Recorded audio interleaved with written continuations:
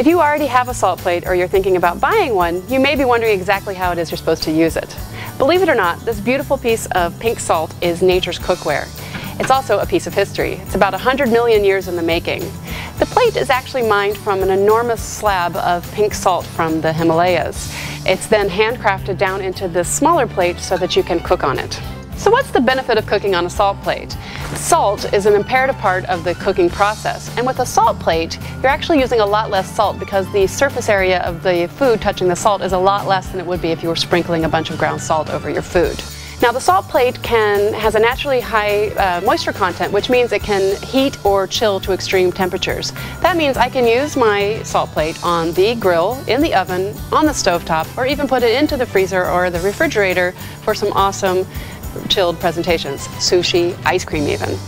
No matter how you're using your salt plate for cooking, be it the oven, the grill, or the stovetop, it's imperative that you bring it up to temperature slowly. I'm talking 30 to 60 minutes to bring it up to an ideal to cooking temperature of 300 to 400 degrees. Now this salt plate is a pretty substantial piece of salt, and you can count on it lasting a good long time. But a great way to make sure it lasts even longer is to use a salt plate holder.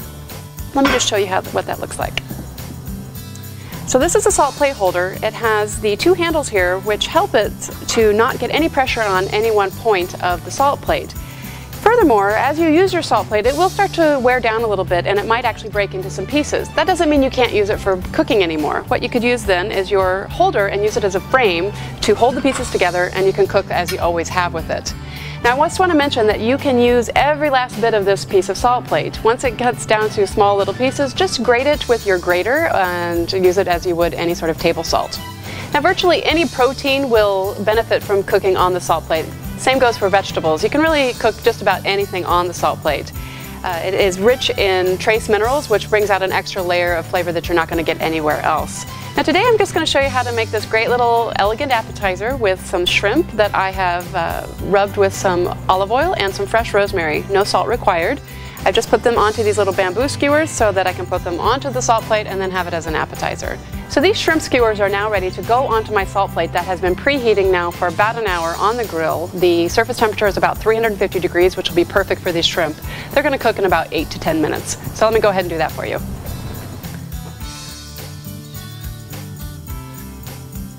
Just like that. You could make a little dipping sauce for this if you want, or they're great by themselves. All right, so that's about enough.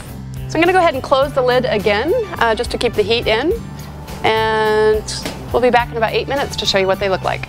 So the shrimp have been cooking now on the grill for about eight minutes. I did give them a turn about halfway through with my tongs. Uh, they smell delicious. I think they're ready to come off the grill.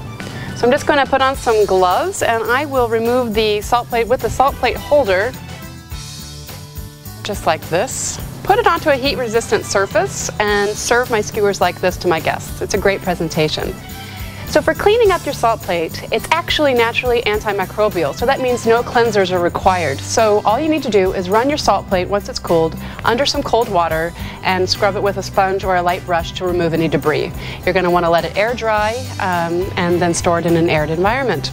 So there you have it, salt plate cookery. Enjoy.